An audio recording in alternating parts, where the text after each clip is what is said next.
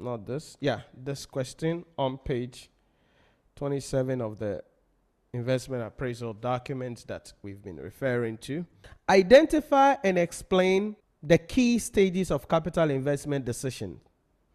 We've already spoken about this last week identification of investment proposals, screening out the investment proposal, analyzing and evaluation, and then um, approving and monitoring the proposal. So, those are the key steps. But let's come to the B aspect of the question, which is where our focus is. Is to calculate the following values for the investment proposals. One is NPV. Two, internal rate of return. We'll come to that. Three is return on capital employed or the accounting rate of return, if you remember. And then four is the discounted payback period. And we'll talk about that as well in a moment. So let's go read a question.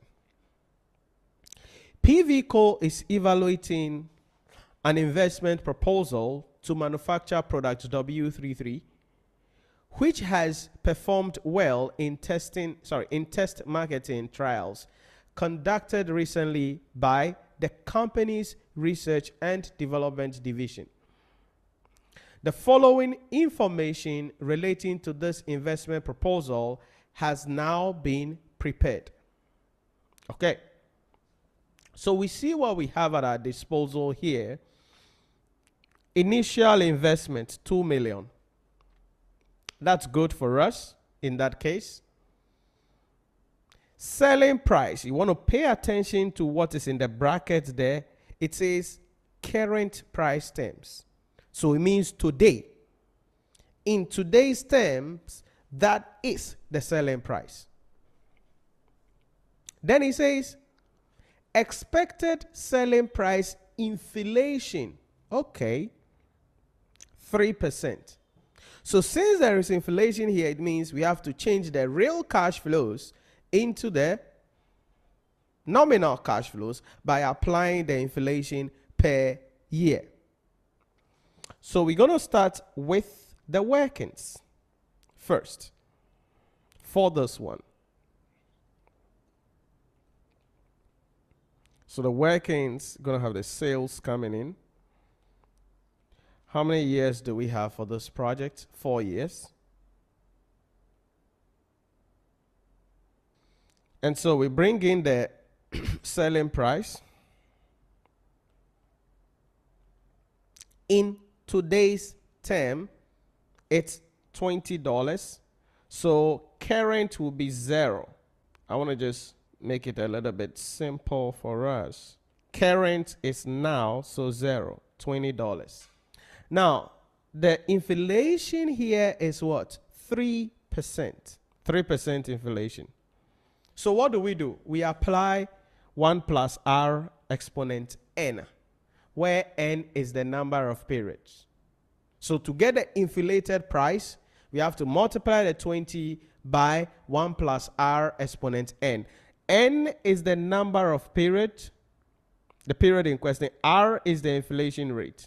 So here, it will be 1.03 exponent 1, 1.03 exponent 2, 1.03 exponent 3, 1.03 exponent 4.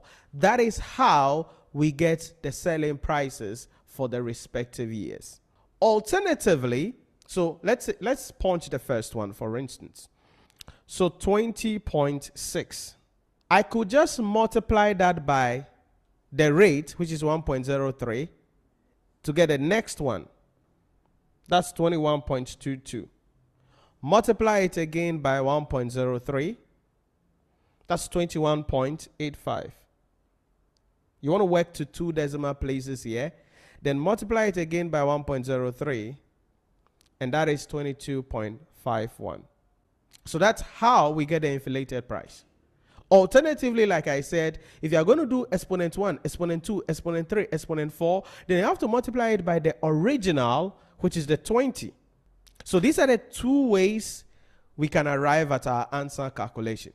So if we do 20 times 1.03 exponent 3 for the third year, uh-oh, exponent 3, you are getting 21.85. The same answer. So either you are taking the exponent thing and multiply it by the original. Please, if you are working in the exponent, don't multiply it by the prior year issue. Otherwise, the answer will be wrong. If you are taking the exponent, then it should be on the original. But if you're just multiplied by the uh, factor, the 1 plus r, then you multiply it by the previous year to get the subsequent year figure. Then we bring in the demand, which has been given to us to be 60,000, 70,000, 120,000, and whatever the heck. So you want to tell the examiner you want to work thousands in units. So 60, 70. To avoid having a lot of figures at the end, you want to keep it simple by working in thousands if we have the figures in million. But if you're comfortable to work in the million or in the whole figures given to you like that, nobody cares. It's your swag. You will still be right. So we multiply up, and that is what gives us the sales revenue, which will go to our NPV schedule. So that will be in dollars thousand. So one two three six one four eight five two six two two one zero one three. So that's our sales figure. Then we go to the next item. Variable operating costs. Again, they said current price. So variable operating cost. Then it says expected operating cost inflation is 4%. So it means the variable operating cost also, we have to work on it to get it inflated for our final answer. So workings to variable operating cost. So I want to just bring in my year here because we're going to just work in the same mindset in the context of this question. So in current terms, it's $8. So variable cost per unit, $8. The inflation is 4%. So this time around, it's going to be 1 plus 0, 4, sorry, 0, 4, exponent n. So technically that becomes 1.04 exponent n applying the same concept. So what do we have? So exponent 1 is giving me an amount of 8.32 for year 1 times 1.04, 8.65 times 1.04, 8.99, sort of 9.0, or something like that. I don't know. I'm tempted to just make it 9.0 because of the nature of the figure that we can do the 8 like that 9.0 and go away then times 1.04 9.36 so these are the variable costs respectively then we bring in the demand as we have here and multiply up respectively to give us the variable cost or variable operating cost and that is in dollars, three zeros up. 199.2 for what?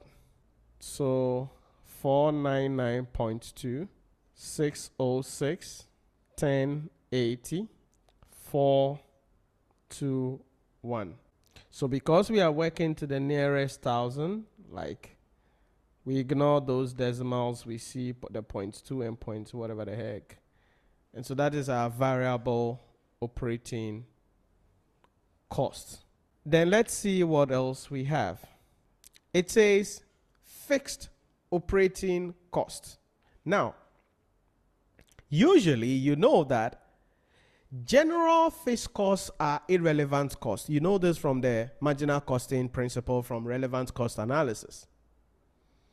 So, general fixed cost, absorbed fixed costs are irrelevant. But specific fixed costs are relevant. Now, as the information, if you read here, they said the information relating to this investment proposal has now been prepared. So it means the fixed cost we see here will be a specific fixed cost. So what do we have? 170,000 every year. Remember, again, you got to be careful because it says expected operating cost inflation. You realize that when it comes to the inflation, it didn't say fixed or variable. It just said expected operating cost inflation. What does that mean? It means this expected operating cost will affect both the fixed cost and the variable cost. Grammar, context, attention. So that expected operating cost inflation rate will affect both the fixed cost and the variable cost. So we bring that up respectively. That'll be working three. So fixed operating cost. Still gonna work with the year situation. So currently, in current terms, they said 170. Again, we work in three zeros. So we have to remember that. So we're gonna have 170 here. Inflation of 4%. So 1.04 we get for year one, and I'm getting whatever one seven seven approximately, uh one eight four approximately, one nine one approximately, one nine nine. It's like two hundred thousand almost, but we can put the two together. So we will add the variable operating cost, which we worked for in workings 3 so that we'll get a total operating cost which will go to the NPV schedule okay which will go to the NPV schedule now you can bring them as individual items though but you know so I can add the variable cost right so that I can get a total operating cost that will go as a line item on my NPV schedule so 177 plus 499, that is 676. 184 plus 606, that is 790. 191 plus 1080, that's 1271. Then 199 plus 421, that's 620. The Research and Development Division has prepared the following demand forecast for the results of product, whatever the heck. So let's go. It is expected that all units produced will be sold in line with the company's policy of keeping inventories of of keeping no inventory of finished goods. No terminal value or scrap value is expected at the end of the 4 years. Oh, so there is no scrap value here. When production of product WW3 is planned to end. For investment appraisal purposes, PVCO uses nominal or money discount rate of 10% per annum. So there is inflation in the question. We are giving nominal cost of capital. So boom, we go for it and do the calculation. And then the target ROCE is 30%. Why did the examiner give you that? Because of the III part. If you remember, we said we will compare the uh, ROCE or the uh, accounting rate of return that we will calculate to the target of the company. If what we calculate is higher, we accept the project. If we, what we calculate is lower, we reject the project. So that one will come later on if you are doing the II part of the III part of the question. But for now, we're done. There is no scrap value, there is no tax, so we won't do capital allowance. We are just done. Such a simple question. So we pull up our NPV schedule. Um, what the heck is the name of our company again? PVCO. It's important you do that. Net present value schedule. So let me copy the years. I have to extend it a little bit. So there we go. so we slash in our currency sign, working three zeros up. What do we bring? We bring our sales from workings one these are the sales respectively. Paste. That's it. I think it makes sense. Gotta just adjust them a little bit. Then we less the operating expenses or the operating costs. So operating costs from workings three, the last one, these figures, paste, and we are lessing them so we can get a net operating cash flows. So what do we have? Have 620, so 1013 will be 393 for the last one. 1351 695 560. Okay. So this is our net operating cash flows. There is no tax, so no cost for alarm here. We'll just go in and bring in the other issues like the initial cost, which we are told is 2 million. So that's going to be 2,000 outflow. There's no scrap value, there's no working capital, there's nothing. So we're done. Okay, so that's going to be our net cash flows. Now, this is net operating cash flows, this is net cash flow. Then we'll bring in the discount factor. What is the rate we are giving? 10%, no P.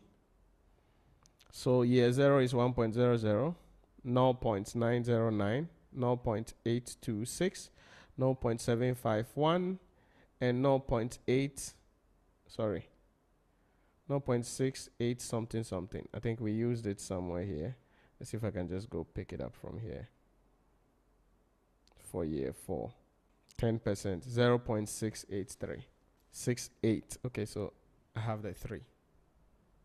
So we multiply up so we can get our present value here. So present value, the year one, oh, this is 2000 negative. 509, okay. 574, maybe 1015 approximately. 268. So that is the idea about that. But we now have to add all of them together to get a net present value. So 2000, 509, 574, 1015, 268, and that is positive $366,000.